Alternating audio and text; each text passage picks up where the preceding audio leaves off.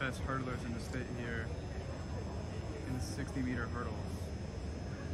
One of them being Oklahoma signee Austin Kaiser from Denton Braswell.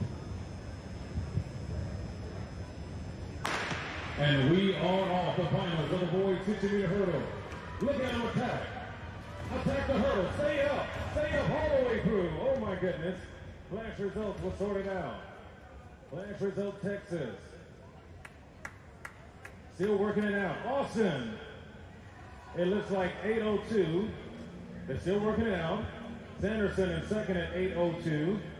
Oh, it went down to the thousand. 813 for Davis, our top three.